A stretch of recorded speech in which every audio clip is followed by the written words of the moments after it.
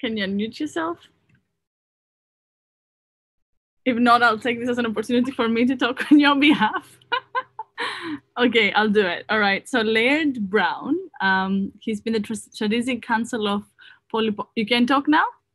Sorry. Yes, finally. Okay, perfect. So go for it, please. Uh, okay. So uh, again, uh, delighted to be here. Uh, polypoly is a founding partner of both ends, so for us it's very exciting. This is one of our first events after the Minius Summit last uh, month. We're trying to follow up on some of that work, and uh, I'm essentially sitting in for Matthew DeCausen, who also a polypoly, and the other co-managing director. So congratulations to uh, both of our, our new uh, directors. We're very excited. Well, thank you, thank you, Laird, and thank you for for being here um, and for moderating with me as well, co-moderator.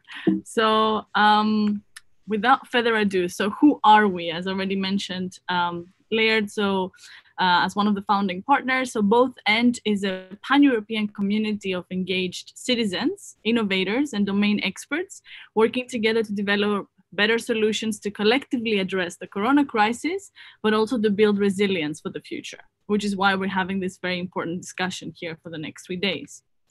Um, some of our values, uh, would you care to, to elaborate on them? I will. I just have to sort of there get my screen a little more open. Oh, can you see the screen? Uh, yes, finally. Um, so for us, I think, uh, well, we have listed a number of values here that are very important to us, but I think uh, the most important ones are at the top, uh, being open and transparent. Uh, a lot of institutions and structures rather are crumbling today because the public just doesn't trust them. They're so opaque. So one of the things that we're really trying to dial up in our work and in the way we are presenting our projects is to be very open about the way we're working and who we are working with. Uh, again, uh, data privacy is uh, paramount uh, part of the GDPR structure. Uh, solidarity, inclusion, and diversity, we're trying to reach as broad a segment of society as possible and not just stay focused on one interest group or another. And again, as uh, Elena mentioned, a very important uh, notion for us is uh, somehow developing resilience, not just in this particular historical moment, uh, but moving forward as we'll face a number of other challenges uh, and uh, cooperation.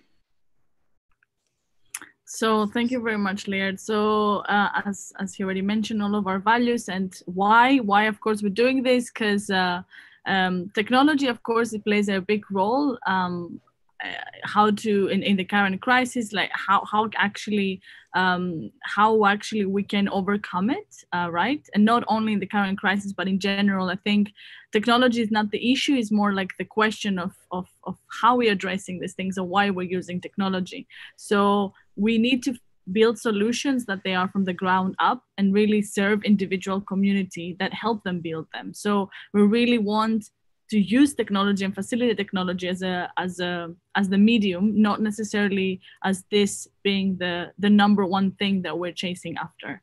So that's why right now we are here to to consolidate and to to use to see what technology can offer and provide uh, and take it to a step further to actually really serve the human uh, and how do you want to do that, Laird? Well, uh, it's actually the key of our name, both and, which is the opposite of either or. So we believe that we can have both data privacy and public health, both civil rights and economic well being. And with you, I'm sure we'll get there. So um, and uh, and actually we also have uh, from a from a practical standpoint we also have this community platform that we will be using all together in the next couple of um, of uh, days um, we will be all meeting there. We will be uh, we will have our projects there, and we will be building up the solutions. Um, we really want to we want a place a place to engage uh, with the solutions to the COVID-19 crisis, um, and this community platform will serve a little bit like an online co-working space where it's it's something in between a project management but also a tool for us to communicate with each other um, and um, and create and and so and really find the solutions together of the topics that we're really opening up now. So in order to sign up, um, so uh, sign up, yeah, not in order, sorry, sign up to this. And I think there's a link now that was put in the Zoom um, meeting. Um, and there you can chat with other participants. Uh, you need to download the Rocket Chat app um, you will access all the reading materials. Um, we, uh, one of our objectives is to consolidate all manifestos created already for the COVID-19.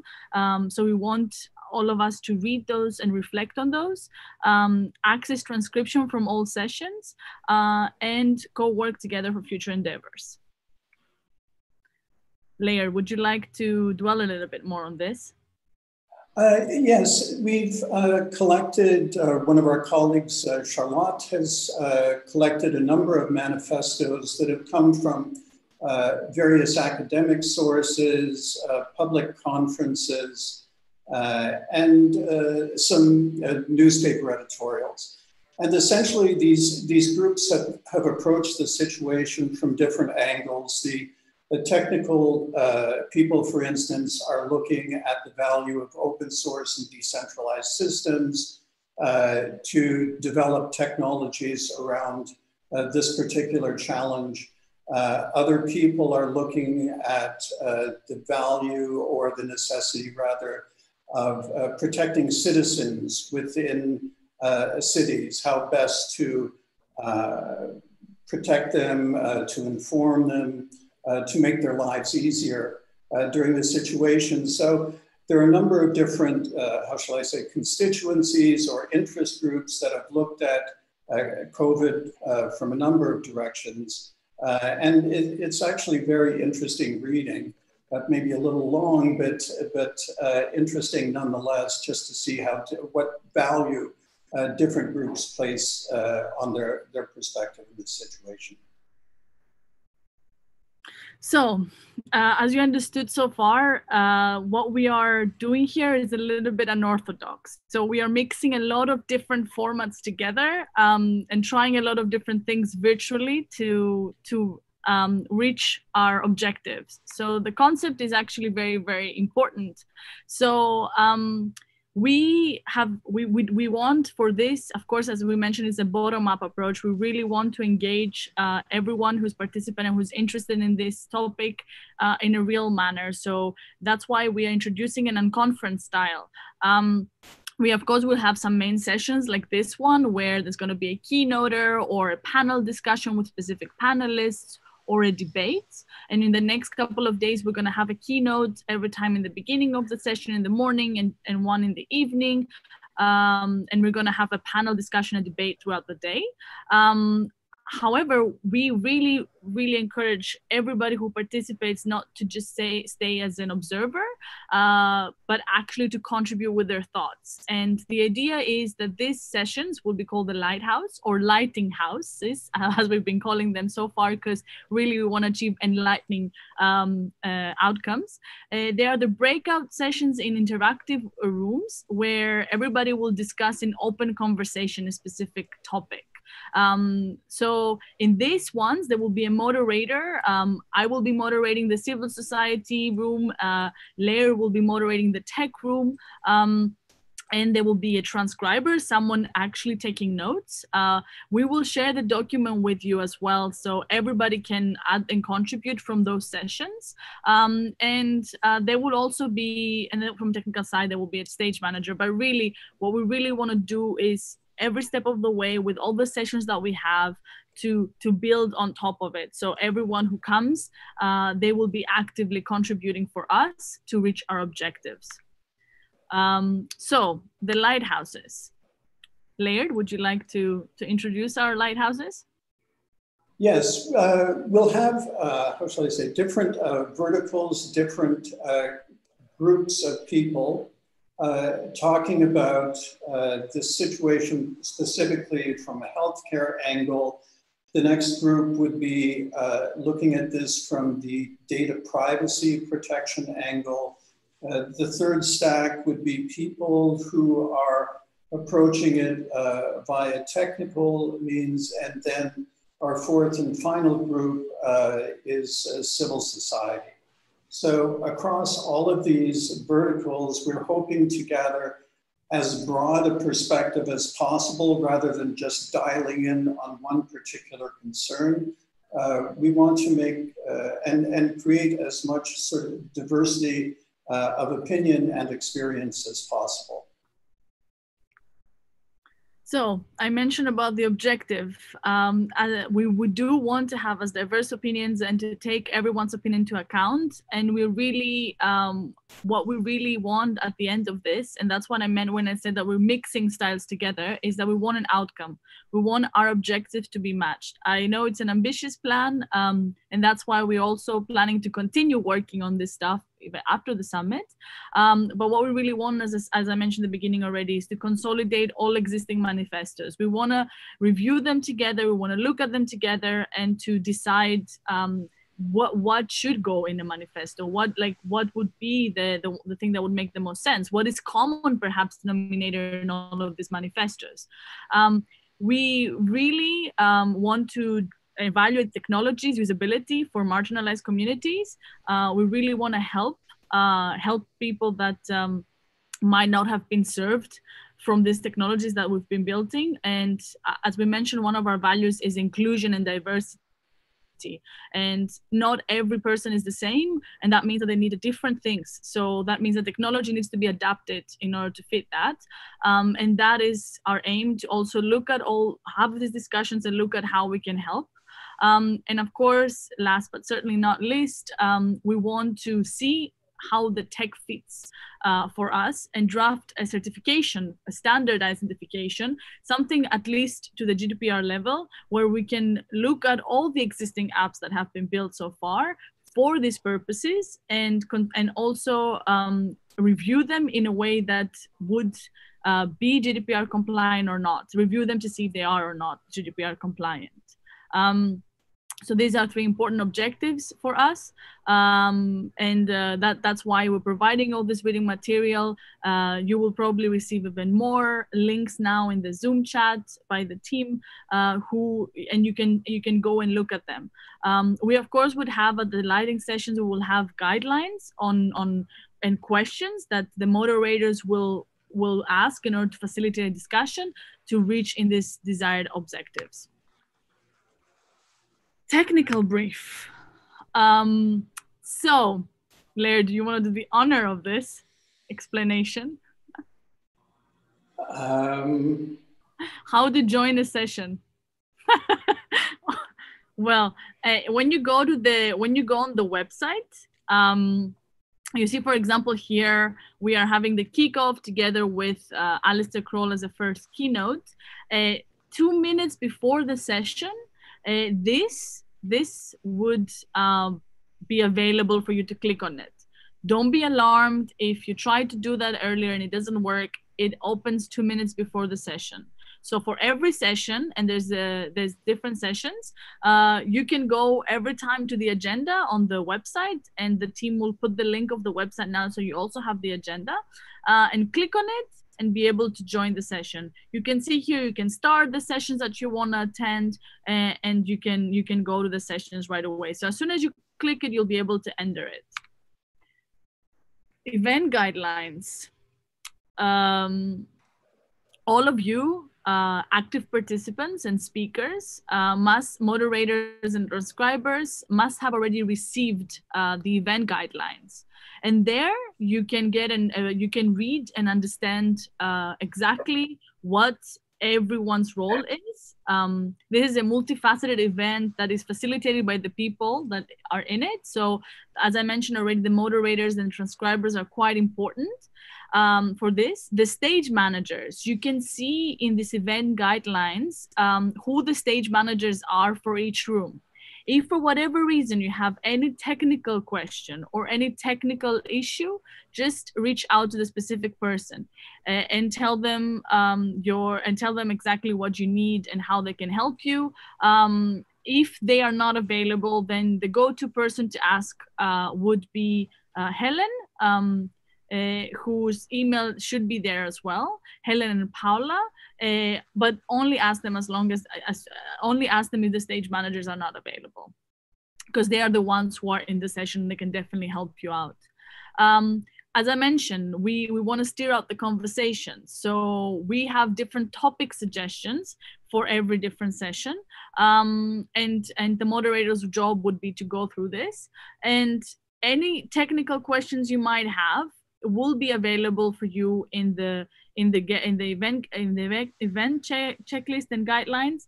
Uh, but just a rule of thumb for all the main sessions we use Zoom. For the lighthouses we use Bizzabo. Uh, again, you can access everything from the agenda. Um, and if in doubt, I think I already answered that question. If, it, if in doubt, uh, always reach out and, and ask uh, the stage managers um, and always go and chat in the community side uh, and ask questions there. We'll be very, very active there and interact and always check the event guidelines. So I hope I'm not missing any important information. If, if so, please ask it on uh, in the chat and uh, me or one of my colleagues will help you out. Um, without further ado, uh, Laird, thank you very much for joining me for this opening, for the open kickoff. Really excited to, to continue this. And I would like to pass the torch to Alistair Croll um, a really um, awesome human being who's been uh, who I know for quite a while now.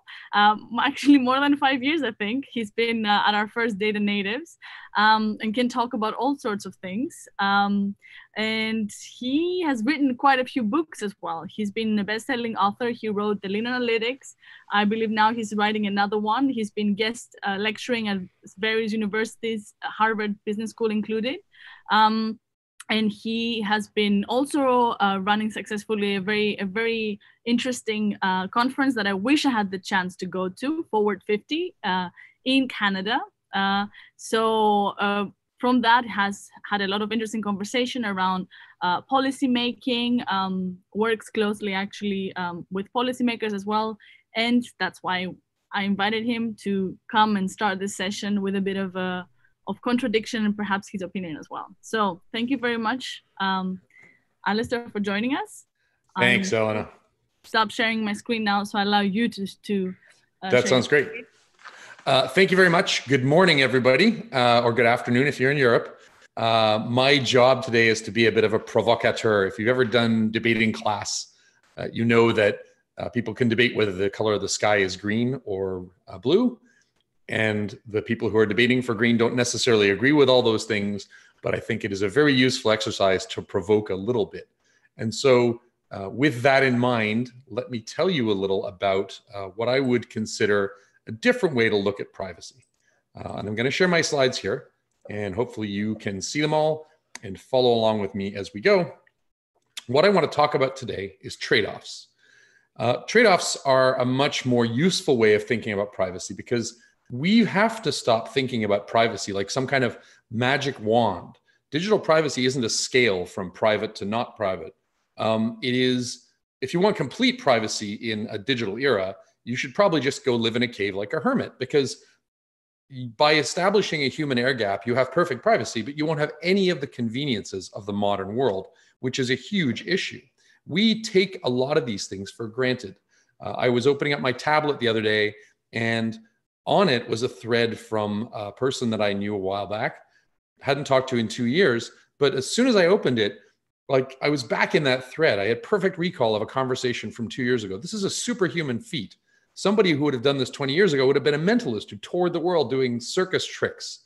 If you had a smartphone in your ear 30 years ago, you would have crushed stock markets, leveled nation states, the kind of satellite intelligence, the kind of signals intelligence, the kind of perfect recall means you would have won every game show. And we've forgotten how unbelievable that is. I mean, that's an incredible thing. I opened up Facebook the other day, uh, Twitter the other day. Here's one of my first Twitter DMs, and I've blocked out the person's name. This is a very famous person. And in preparing for this session, I scrolled through, and this was my first DM.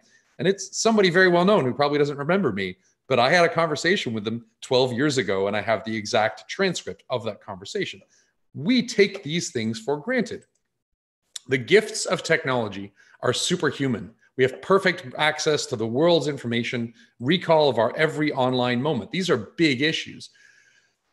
So, how do we think about privacy and interaction in this new universe?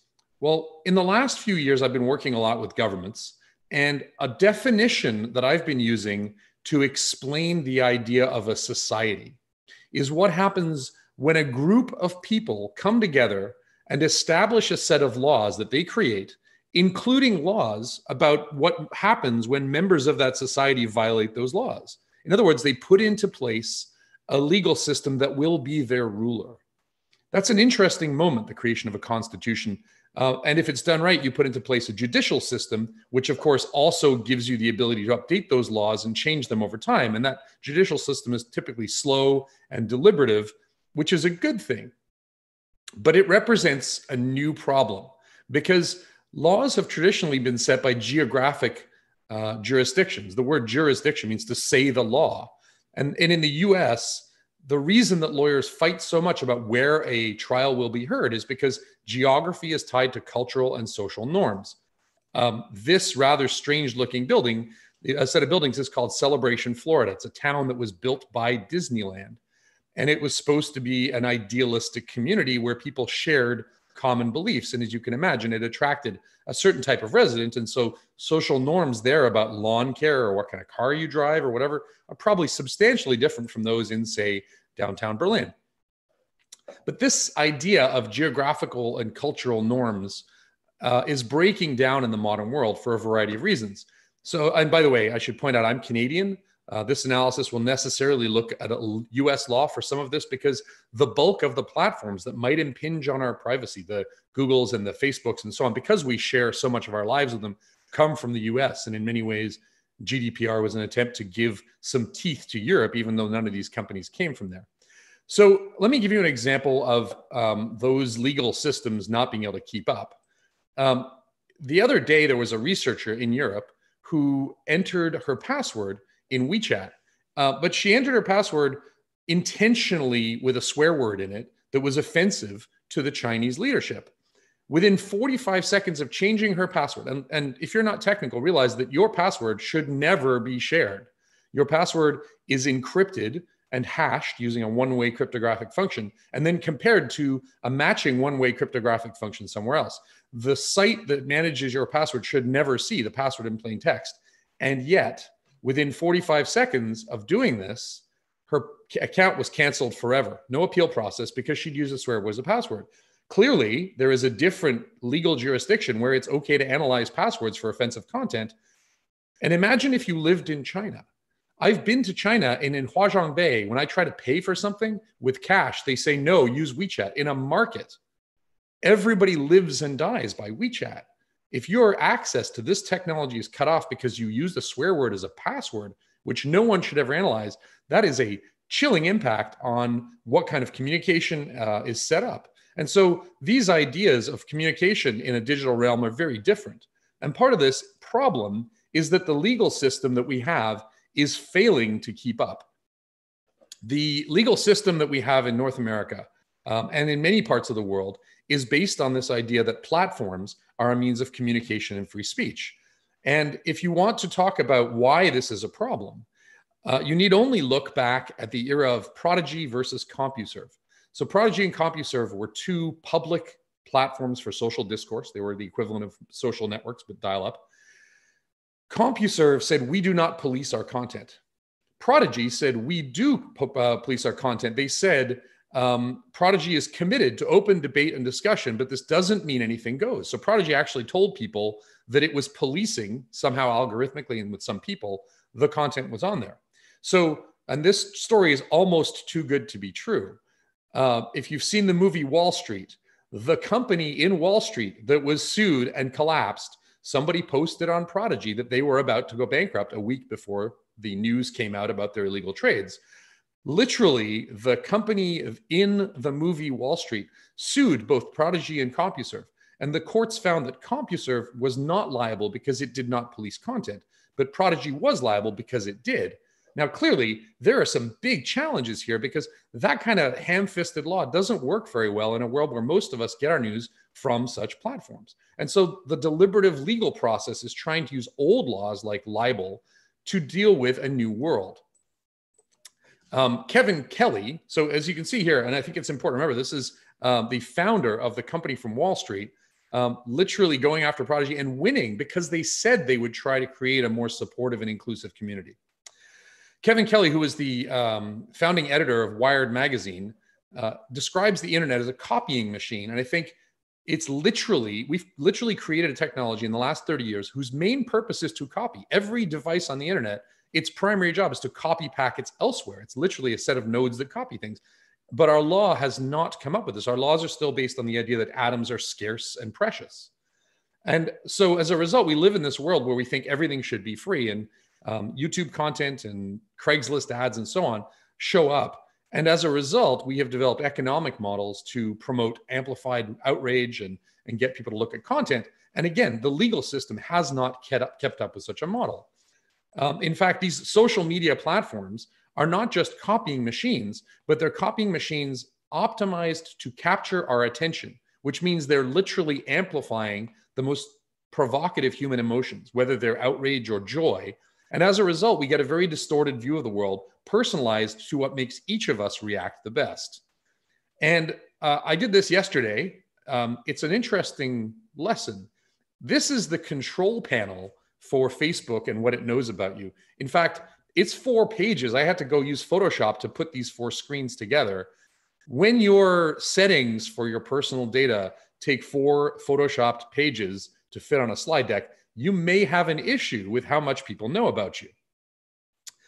Years ago, I was in Japan back when we used to travel. Um, I haven't been out of my hometown in more months than, than in the last two decades. I was in Japan and a friend of mine shot this photograph of me, which is a nice photo of me drinking canned hot coffee. Side note, I think everywhere in the world should have canned hot coffee for sale. But what's really interesting is that when I put this in Facebook, it asked me who this other person was. I still don't know who this man is. He's in the background of my picture. But I suspect that Facebook knows who he is, and Facebook could very easily find out more information about him. I think we've had collective amnesia on the power that Facebook has. Years ago, Facebook introduced a feature called Graph Search. And I got early access to this because I think Facebook was providing the feature early on to people. But some of the things you could look for in Facebook Graph Search, which was basically plain text search, was astonishing. Here's a search result blurred out for married people who like prostitutes and down here in the bottom right, their spouses. Um, here is empl- um, current employers of people who like racism, including photos from those pages and where they work. Uh, this one here is uh, family members of uh, people who live in China and like Falun Gong. And then, perhaps most terrifyingly, um, Islamic men interested in men who live in Tehran, Iran, and these people's friends. If that isn't chilling, I don't know what is. And let's remember that Facebook quietly shut a lot of these features down and everybody seems to have forgotten it. But this is the data that lives behind Facebook's uh, servers and it changes our world. Facebook is knowing me better than I know myself. Or is it? When I go and look at what Facebook says I'm interested in, it knows I like the band Underworld, but it also thinks I like the movie Underworld, which is a pretty awful movie. Um, it knows I like Ignite conferences, but it seems to think I like the Ignite brand. So these may seem innocent enough, but what if their algorithm mistakenly thought that I liked something that was illegal or socially unacceptable in my community because it simply had the same name as something I liked? That's a scary precedent.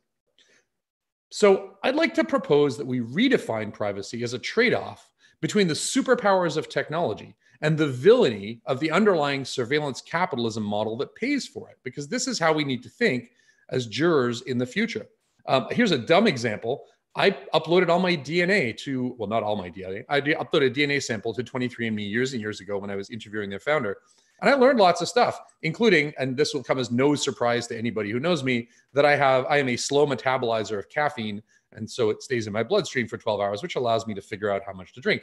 But it also tells me that I'm highly sensitive to warfarin, which is a blood thinner, should I ever need it. And then I have greatly increased odds of floxacillin toxicity, which is a bacter- uh, an antibiotic that I have since asked doctors not to prescribe me. That's pretty interesting stuff. And it's incredibly useful for my life. So, in the time I have left, I would like to talk about a few big ideas for finding some balance about this. Why identity is the cornerstone of all this, why a digital timeline and personal agents deserve your legal protection, why we need to update the Magna Carta, what new free speech means, and ultimately why nobody should know more about you than you do. I want to start with identity. Digital identity is inextricably linked to privacy. Identity, if you come from that world, consists of three things authentication, which is who you are, authorization, which is what you can do, and accounting, which is what records I keep of what you did. But we can't deliver privacy until we know identity. It is the cornerstone of all online policy. Once I know who someone is, then I know what they're entitled to and whether I need to report and keep track of that. And so all discussions of digital privacy need to start with identity. But one of the things that drives me bonkers is that people who believe heavily in privacy are the ones who tend to be the most opposed to identifying who someone is. Anonymity is not privacy. Anonymity is hiding in the bushes, but technology can find what's in the bushes very easily. It's far better to build privacy by design, knowing the identity of someone in a robust way, and then using that to manage authorization and logging of what they've done. One of the reasons that identity is so important is that once we have true identification of somebody and proper privacy, we can do amazing things with it. For example, I know every single credit transaction that you've made that exists in a bank somewhere. I know all the music you've listened to. I know any legal um, issues that you may have encountered in the past. I know all your travel history. This is tracked on Google Maps. I know where you've driven. I know speeding tickets that you may have um, uh, received. I know all of your income taxes. I know your vaccination history. I know your education history. In fact, some of these educational tools exist online already, and we can very quickly look at what students are seeing and so on.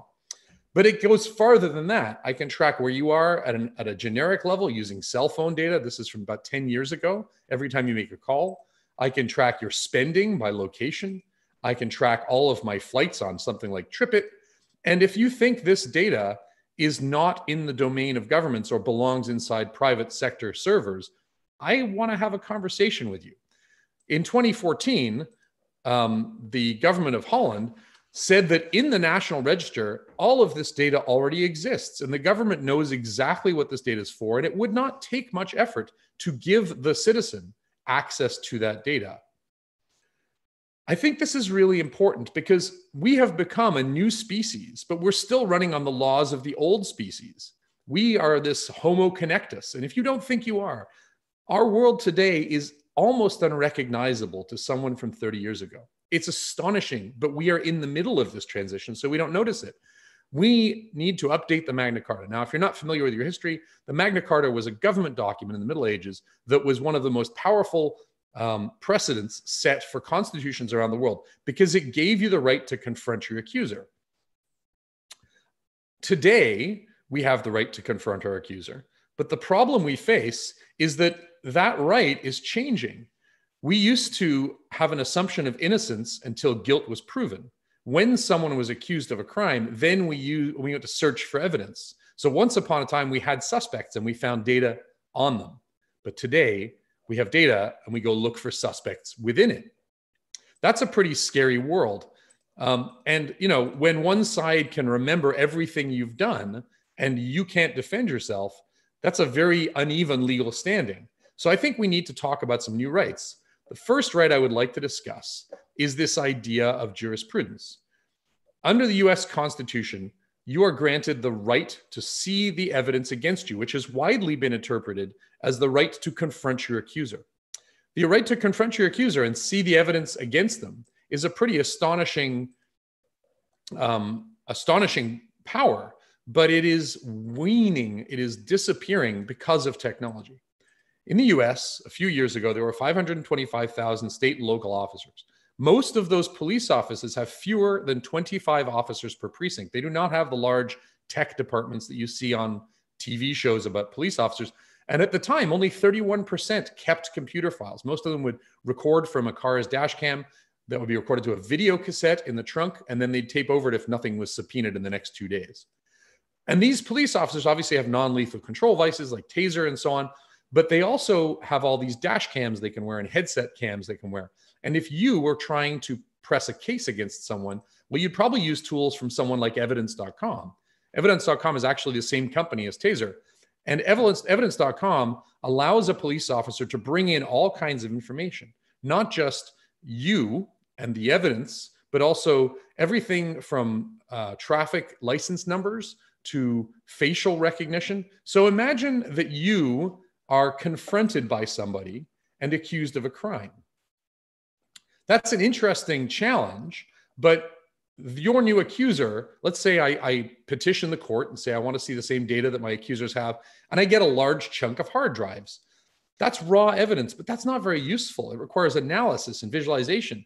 If the prosecutor can do cell phone data and license plate numbers and textual analysis and automatic lip reading and facial recognition, all of which are real technologies today, I no longer just need the right to review my evidence. I need the right to review my evidence using the tools of my accuser. And without that, the Magna Carta is moot.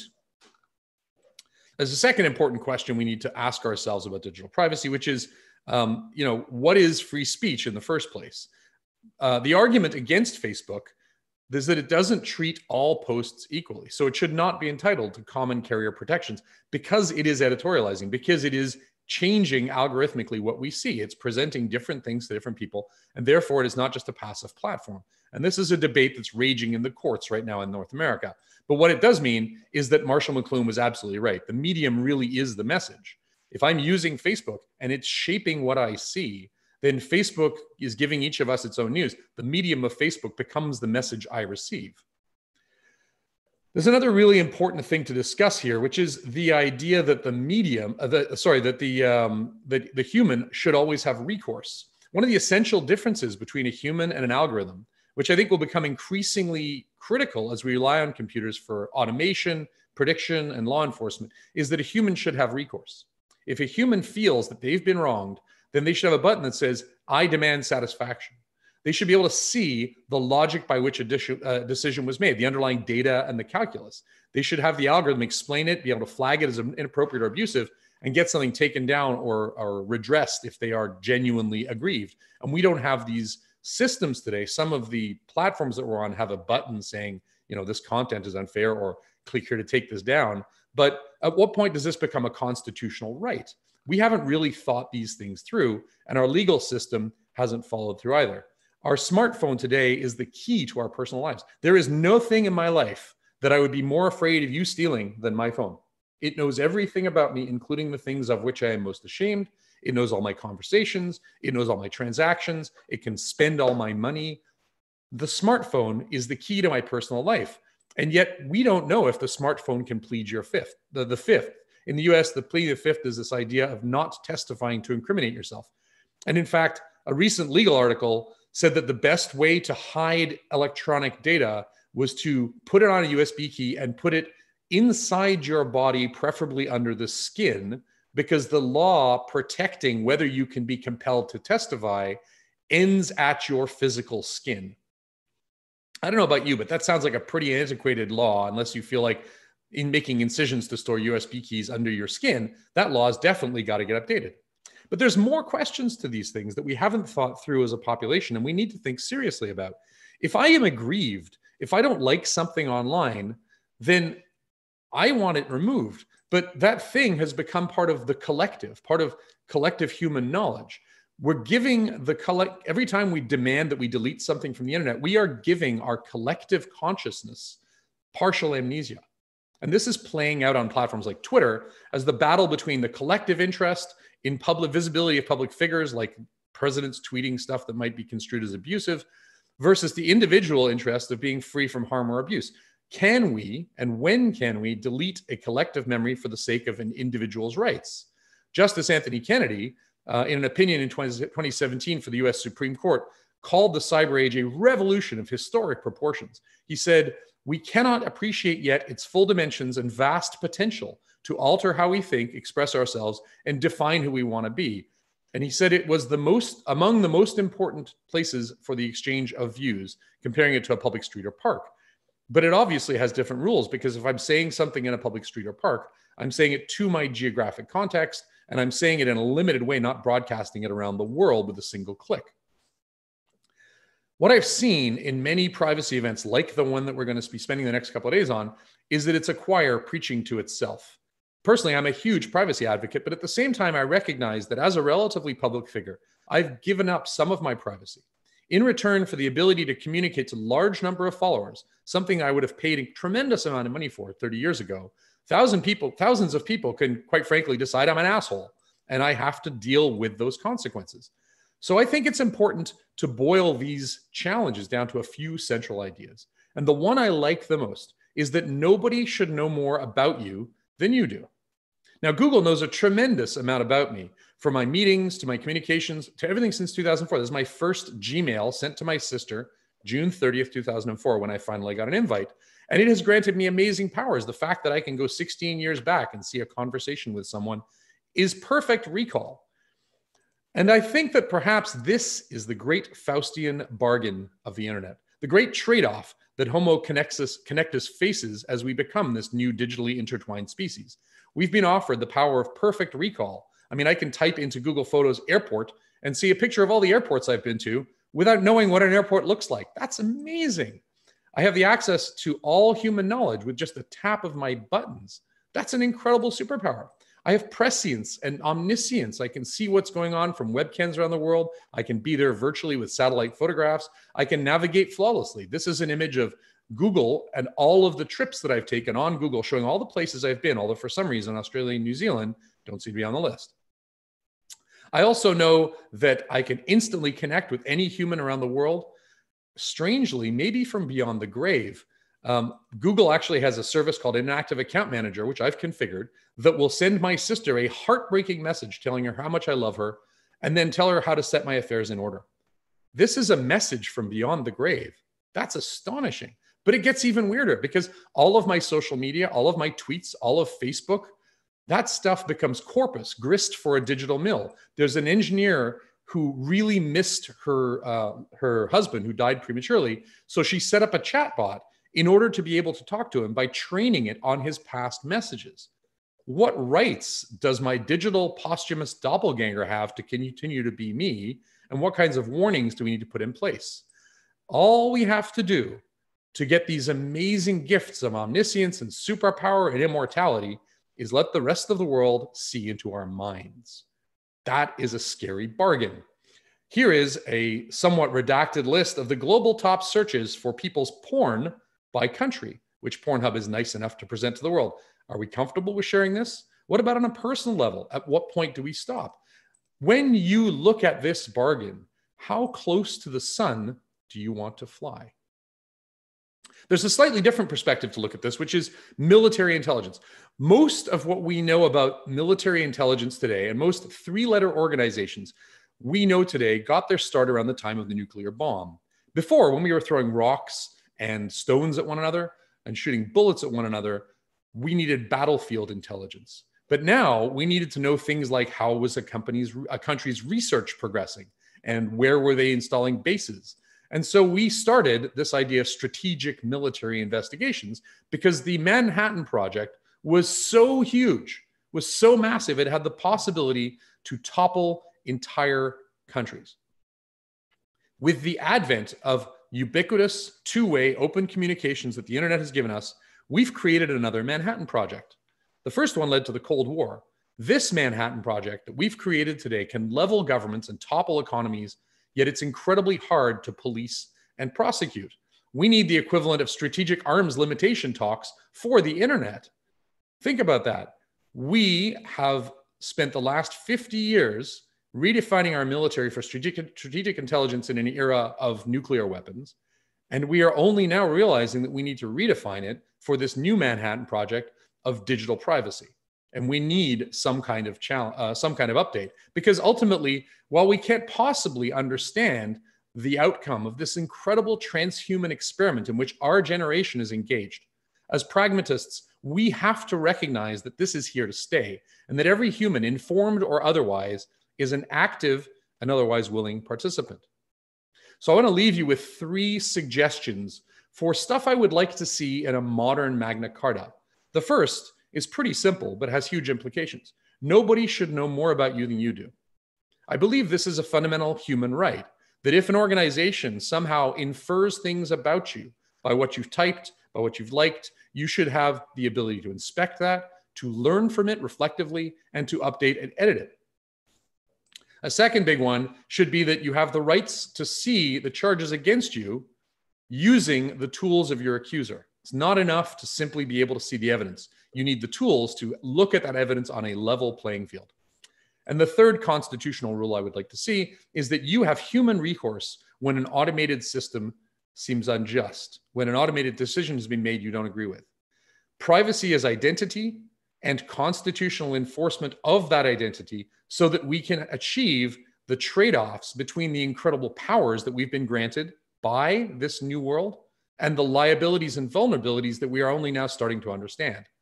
So I'd like to leave you with this question What else should go in this future constitution that we're envisioning?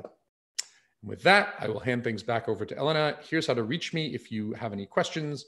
I've been having interesting technical conversations on Crowdcast with people about the future events and psychology and neuroscience. Um, and uh, if you care to hear more of this stuff, you can go follow me on Substack. Thank you.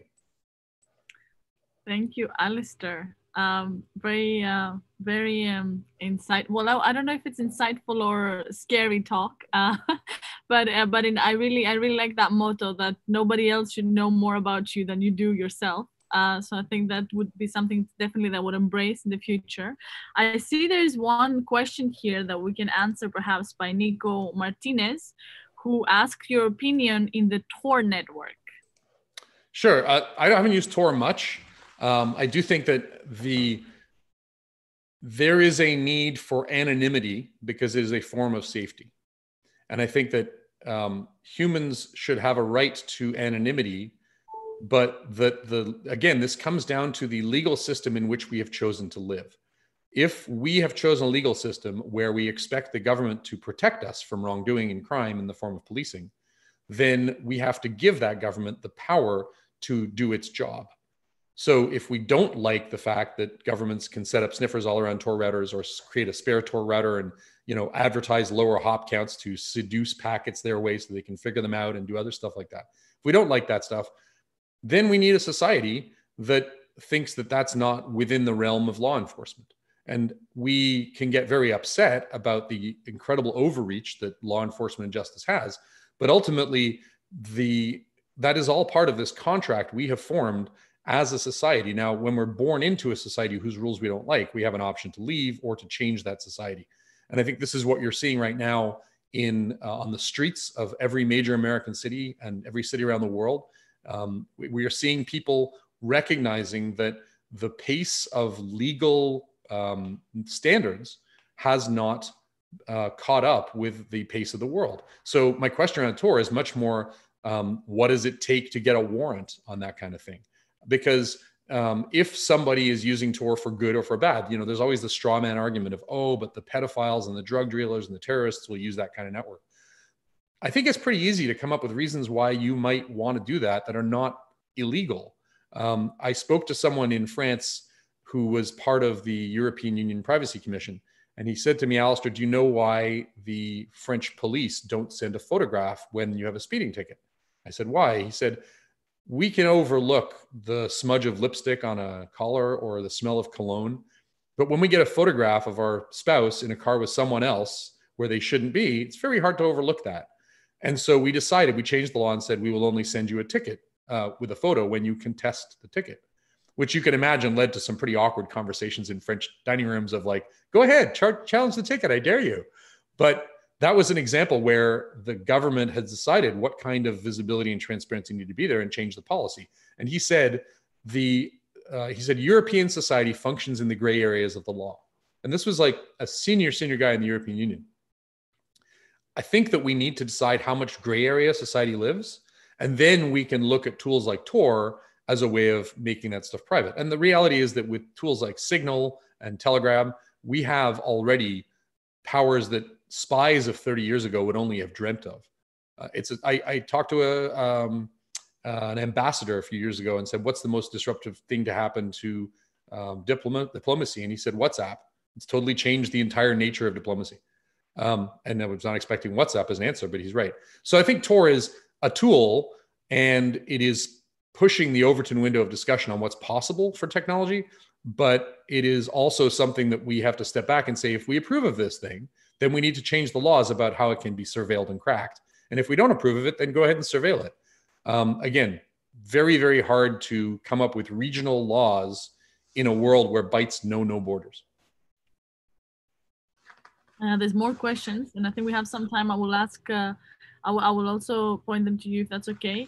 So um, could you please, so J Jennifer Baxter asks, could you please talk a little more about biological data? How could events like the increase in telemedicine and medical apps, especially due to coronavirus and the addition of our bio data into the internet affect us more so than user data?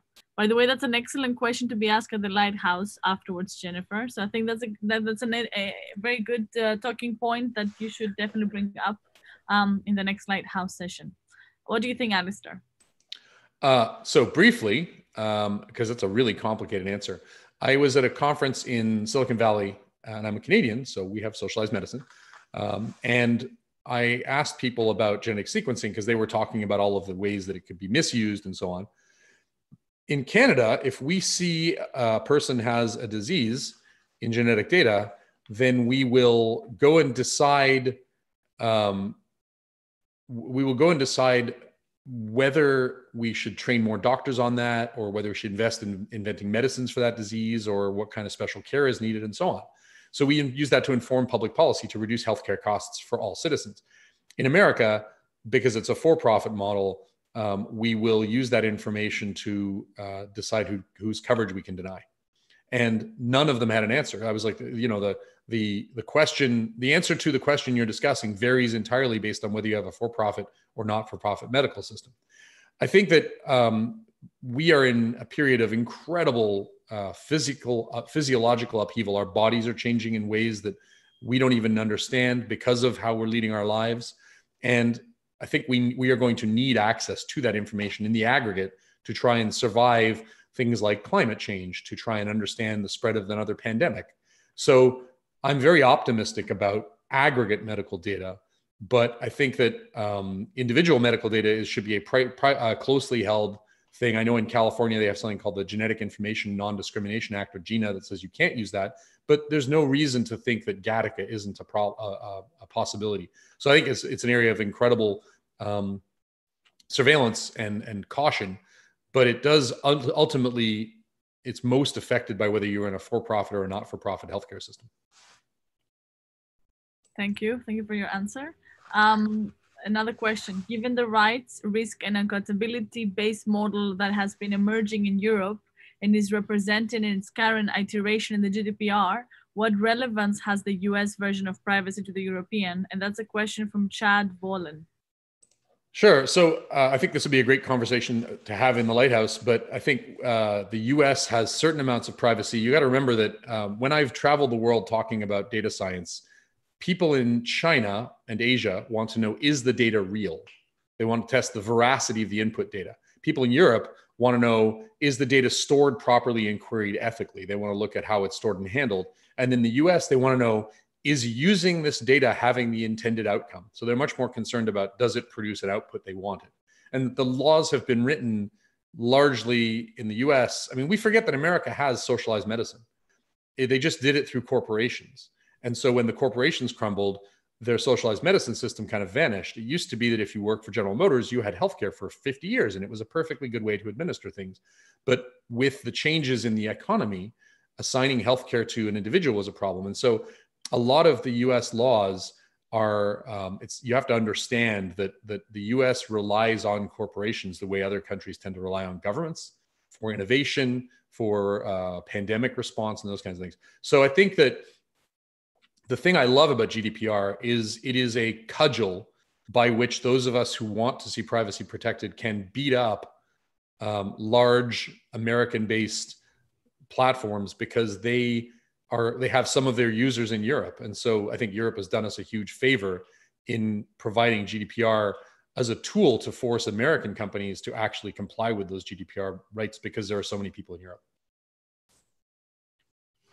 Um, okay, two more questions, and then we're gonna start. we're gonna start gathering just to warm things up for the lighthouse. Um, if our smartphones bestow upon us superhuman abilities, hmm, how should we think about children who grow up and get a shortcut to this all at once? That's Stephen Tatum. Yeah, I have a I have a nine year old daughter, and you know she is a total digital native. Uh, and she, I have a T-shirt I made years ago that says, "Those who do not understand the workings of the internet are doomed to believe it." She, when she wants a picture of something, just takes a screenshot. She doesn't understand the idea of like right click on something and save it. When she walks up to a TV, when she was very young, she would walk up to the TV and do this. I think my my saddest moment as a parent was when I was FaceTiming her and I saw her hand come down and try and like swipe me away so she could do something else. And you know how important you are at that point, right?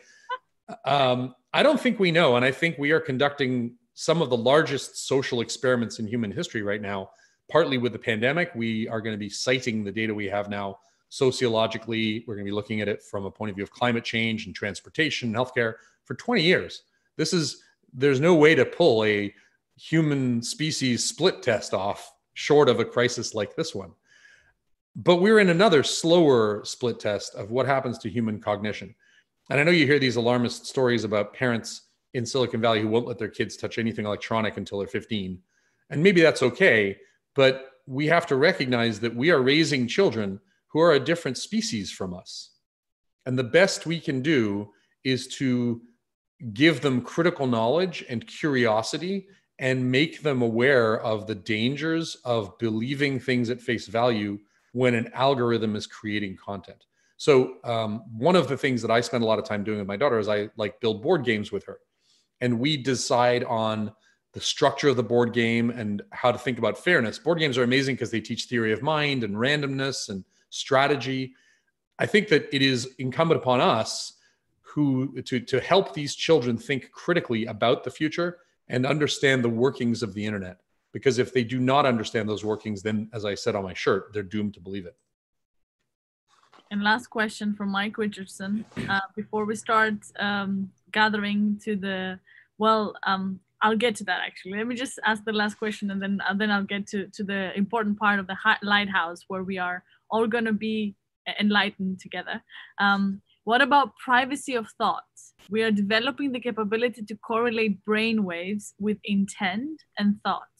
Where is the line of privacy for thought? Uh, this is a great question. Uh, I love thinking about this stuff uh, late at night with friends. Uh, there are two privacy questions about thought here. The first is your explicit thought or what I can infer from your behaviors and actions.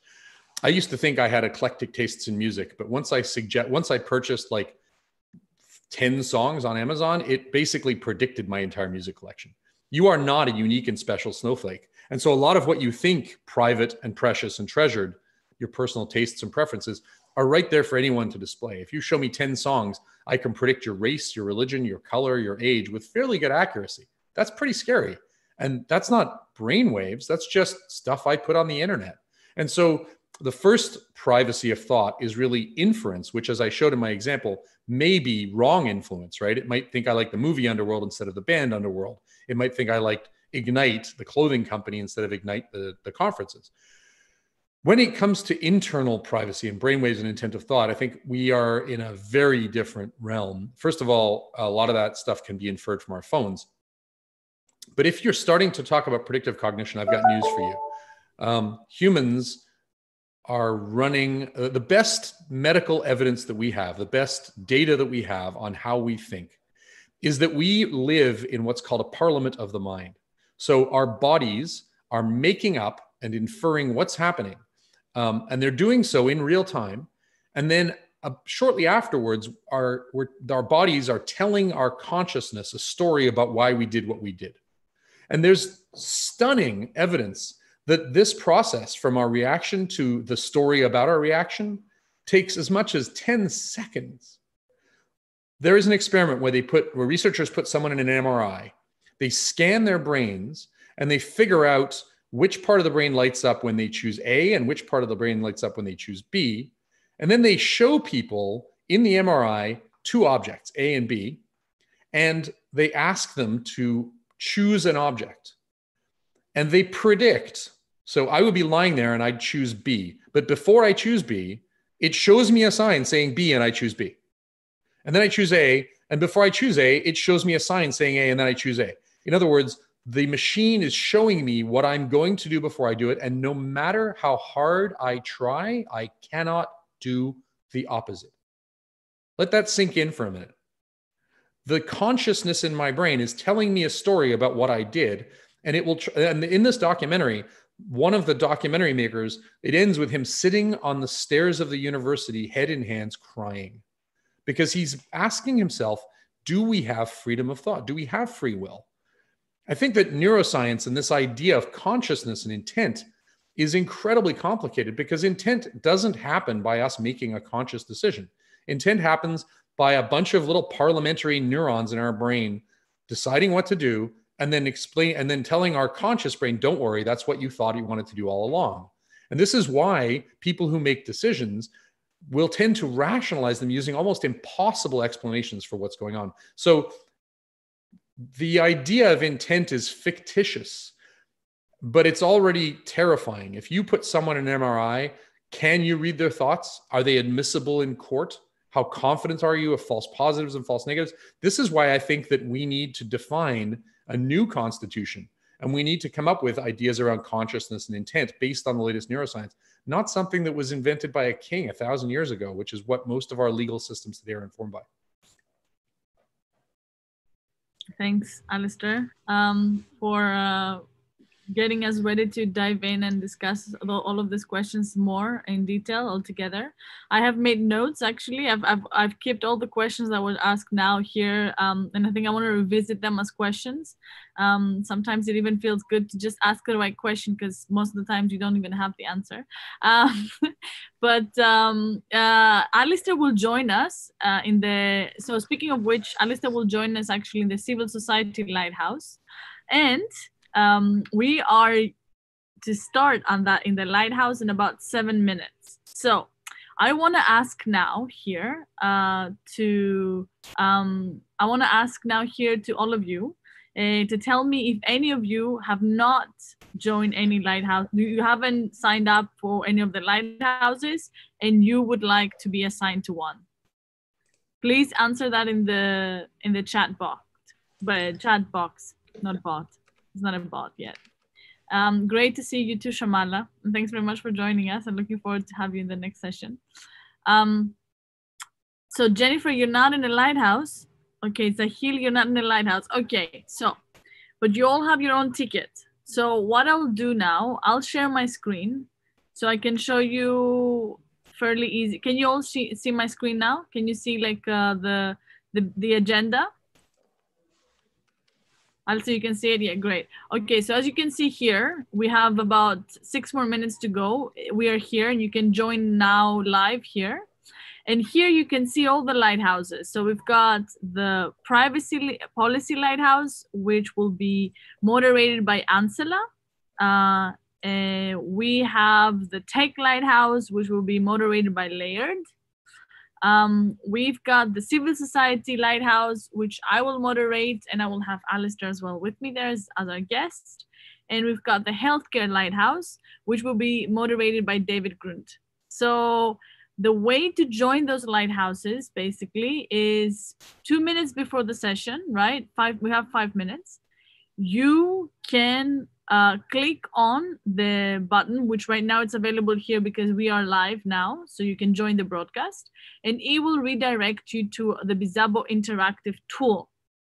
So uh, if not, if you, you guys right now that you haven't been assigned to a lighthouse, you should know because you would have, you should have received a calendar invite by Hara with the information of the lighthouse, uh, the name of the lighthouse, and you can join it. Um, please, if you've already been assigned to one, please stick to it. Uh, we put some thought into this and we want to bring diverse people together to discuss these topics. Um, of course, if you want to switch, let us know. Um, but it will be good if you if you um, if you if you stick to the the lighthouse that you have.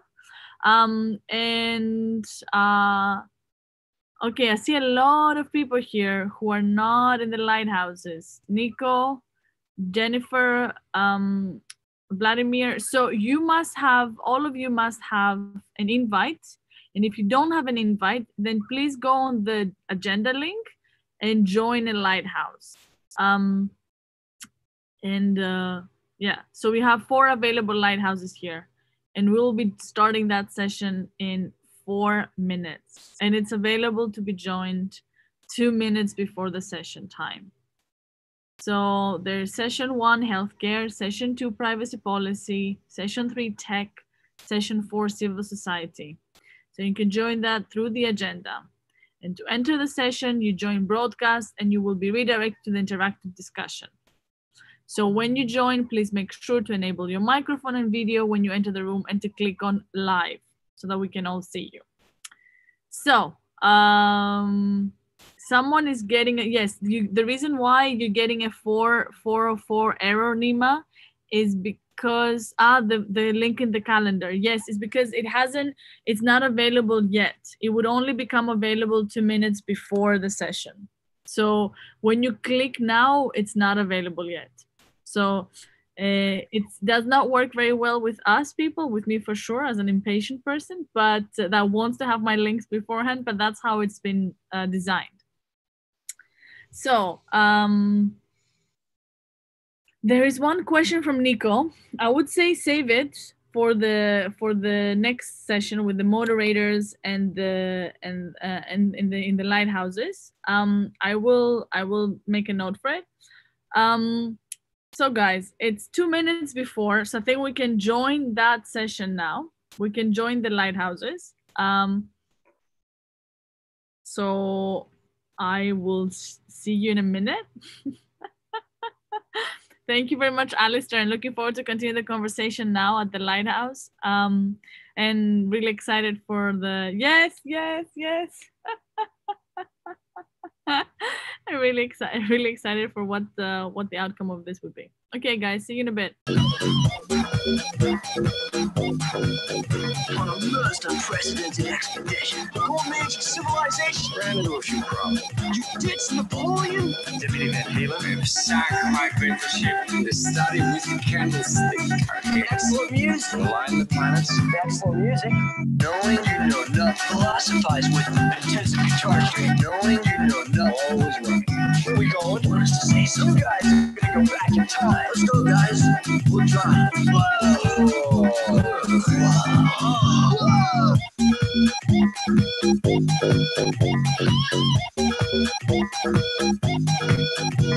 your best medical when it comes? Kill it. Shoot first and ask questions later. What doesn't kill you makes you stronger. Save the world. Squeeze the trigger.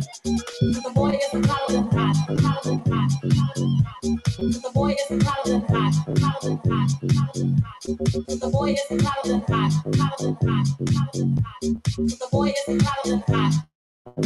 Hey! Multitask. The boy is hotter than hot, multitask. Multitask. The boy is hotter than hot, multitask. Multitask. The boy is hotter than hot, multitask. Multitask. The boy is hotter than hot, multitask. Hey! The boy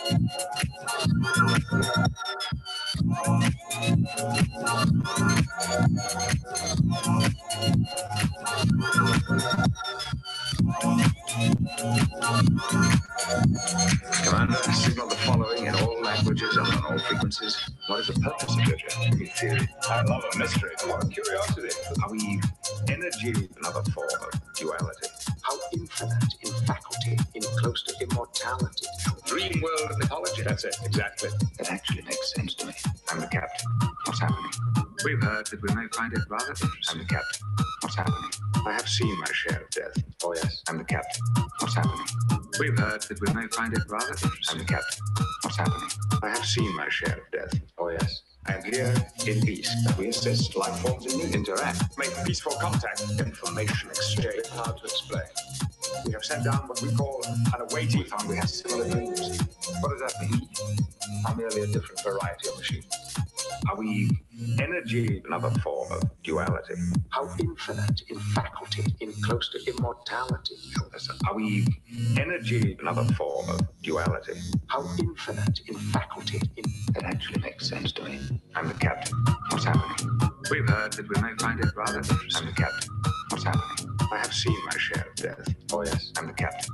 What's happening? We've heard that we may find it rather interesting. I'm the captain.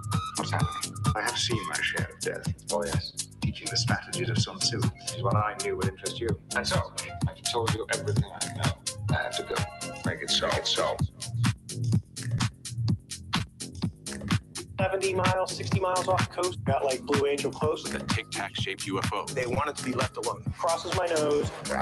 Nobody knows what it was. what it was, Not an airplane, not a cloud. There, nobody knows what it was. what it was, What it wasn't. Nobody knows what it was. what it was, Not an airplane, not a cloud. There, nobody knows what it was. what it was. What it wasn't.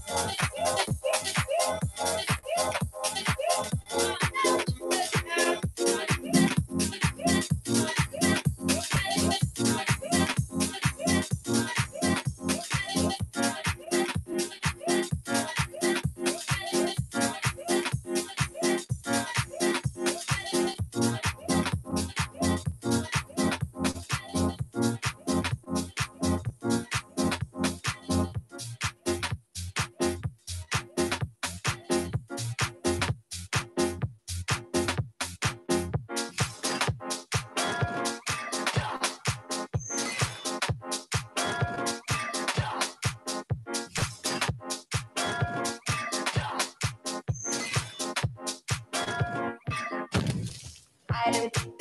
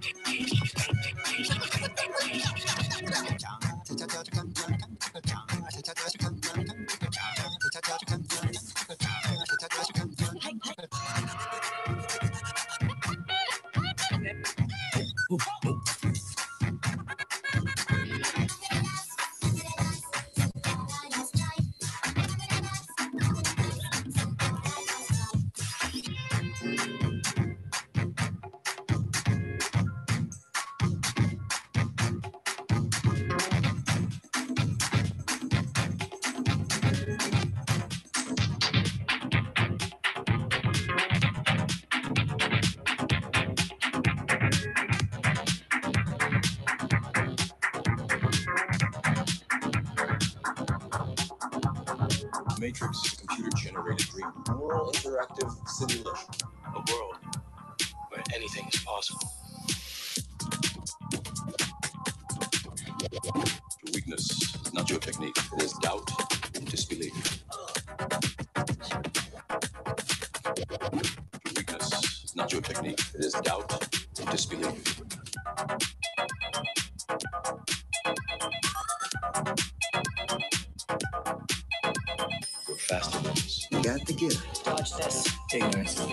You're faster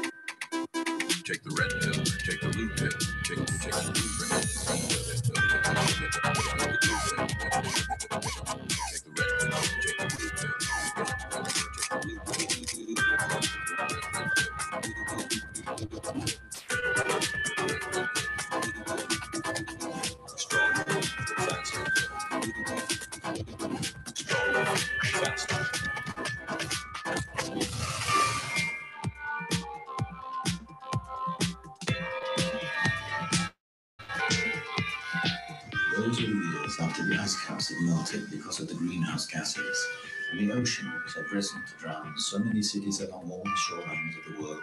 Most science fiction of the day predicted a future that was more civilized, more intelligent. But as time went on, things seemed to be heading in the opposite direction. We have taken what used to be a paradise and failed in our responsibilities as its steward. Skynet has become self-aware. In one hour, it will initiate a massive nuclear attack on its enemy. Hundreds of millions of people starved in poorer countries. Pyre the angels fell. Deep thunder rolled around their shores, burning with the fires of all. Welcome to the future.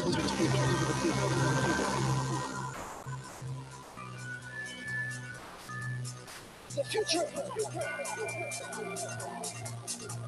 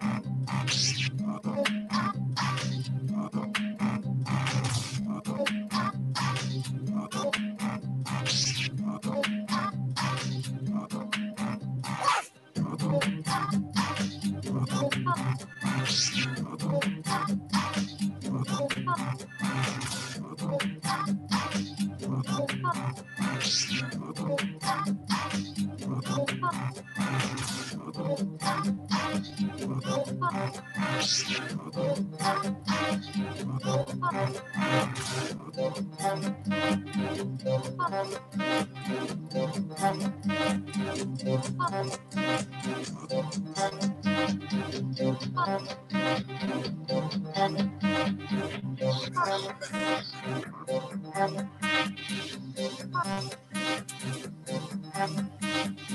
evidence of intelligent life off the Earth was discovered. Four million year old black monolith has remained completely inert. Its origin and purpose still a total mystery.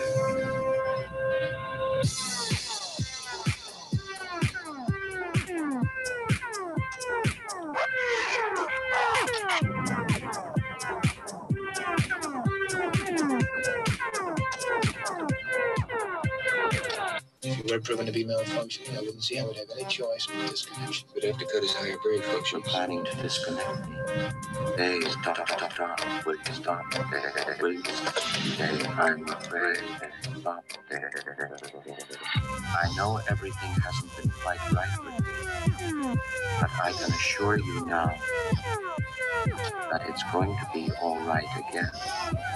I hope the two of you are not concerned about this.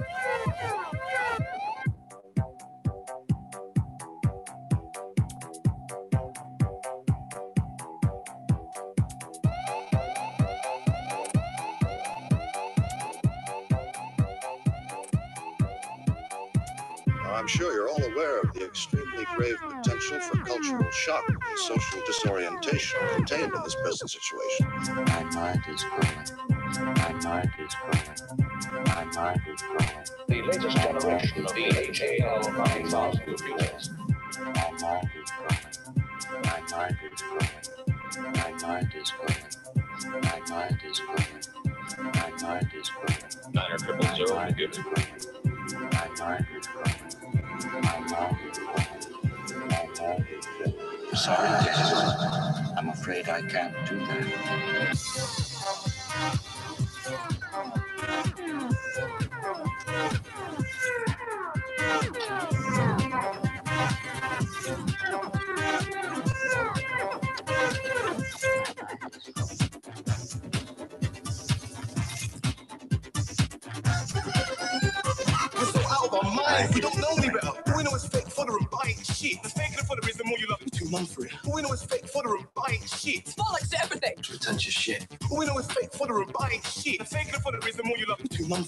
We know is fake fodder and buying shit. That's how we express ourselves as buying shit.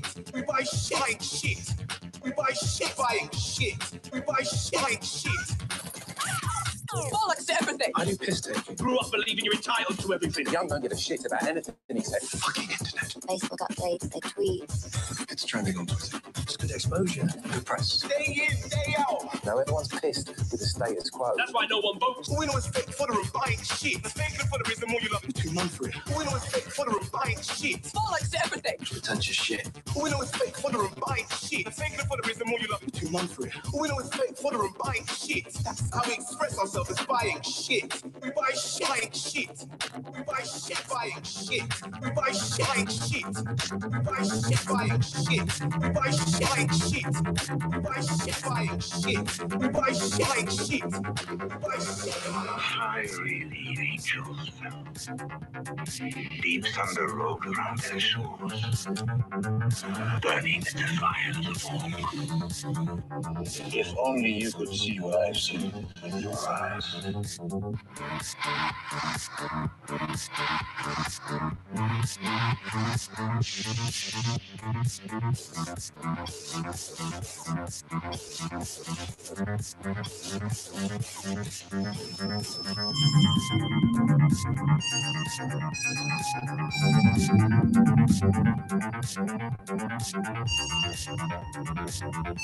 Blade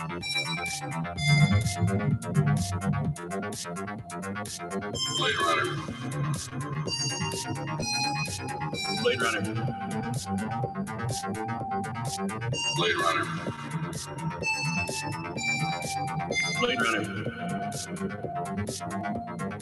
Hate, love, fear, anger, envy. Memories. You're talking about memories. I've seen things you people wouldn't believe.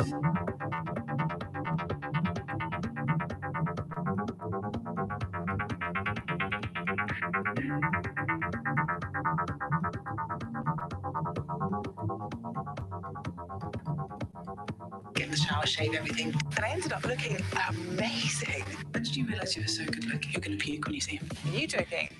Gorgeous, fresh face, new top. Hot. I didn't want to show off. Gorgeous, fresh face, new top. He's horrifically hot. Oh, fuck off.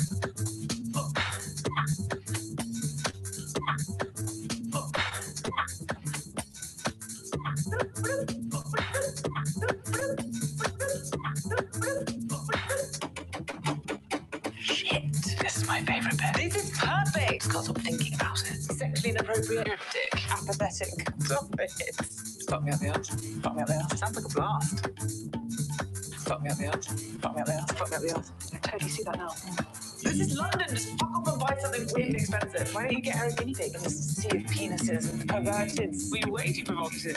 Penis. Thank you. We're all being very grown up about this. Or sorry, I'm ticklish. Penis. I used to call it her monetary confidence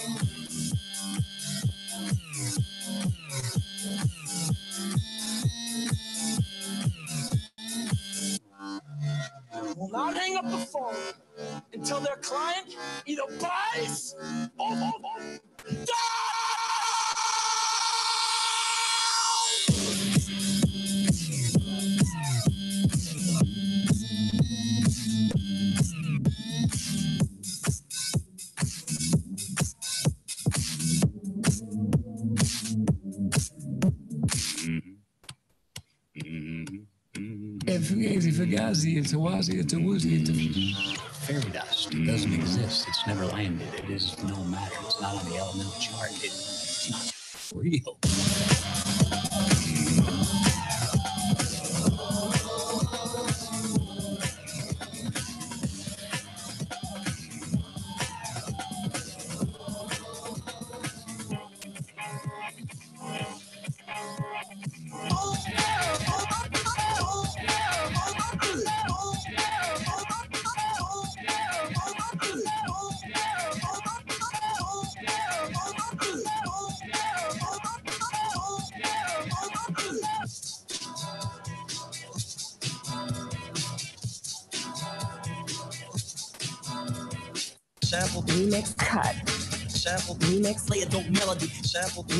Cut. Sample remix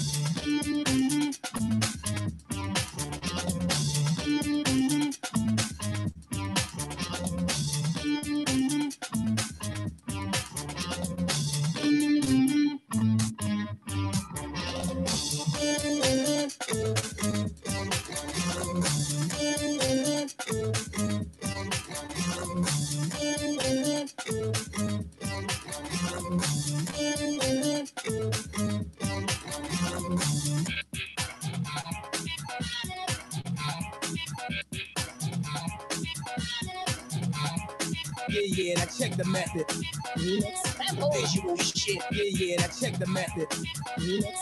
Visual shit. Yeah, yeah, and I check the method. Visual shit. Yeah, yeah, and I check the method. Visual shit. Yeah, yeah, and I check the method.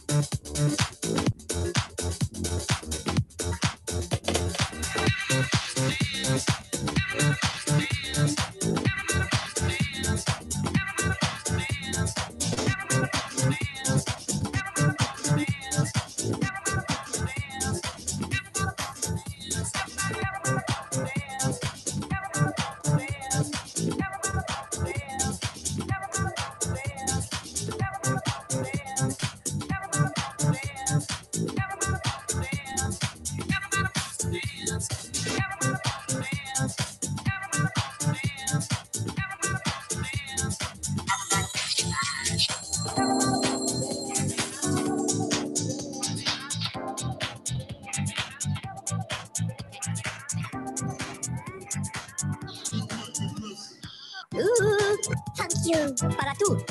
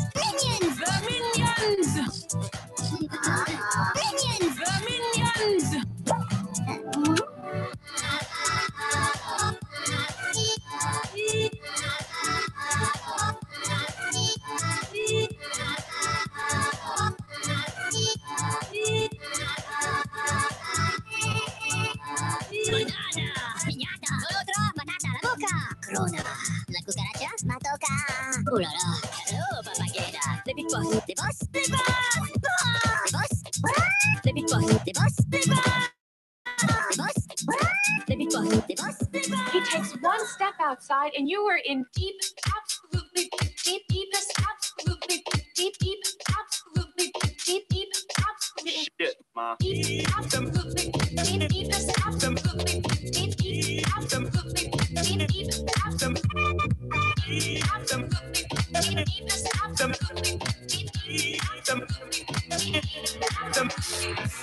you.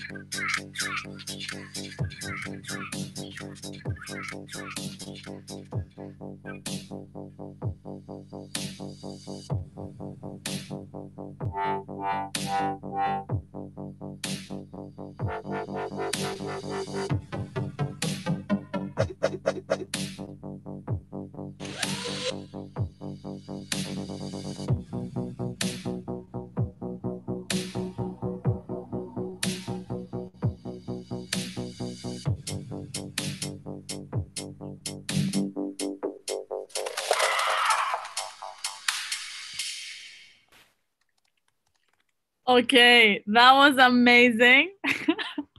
Thank you so much. I really haven't missed being in a club so much like I missed today. Honestly, I wish I was in a club right now. And I really love the visuals. Um, So so thank you so much, uh, Johnny or else Eclectic Method. That was amazing. Um, I really uh, really hope I can see you somewhere play live. Um, and uh, thank you so much uh, for being here, for doing this with us. It was amazing. It was amazing. Um, and guys, for for the rest of you who are here, um, I yes, I we are we're finishing this this day, the first day with a kick, uh, with a lot more questions that we started, and a lot more conversations need to happen now. I you can continue. I, I assume you can continue. I, I'm actually planning to go jump in uh, your tribe one more time again to continue networking with other people. Um, and uh, yeah, and we see you tomorrow at nine uh, at nine o'clock. No, 10 to 9 where we have our first first keynote for the day. Vince Madai he's going to tell us why actually fake news might be good news. Um, I'm, I'm, I'm looking forward to see what uh, what what he has in store for us. Um, he really wants to talk about synthetic data uh, which is a new way to to actually take anonymized data to, to, to take data and pseudonymize it. So um, uh, he's an AI researcher at Charité, and that will really set the tone again for tomorrow. So for now, again, thank you very much to Eclectic Methods. Um, thank you so much for DJing for us and for putting us in the mood. And um, have a good evening, everybody, and see you all tomorrow.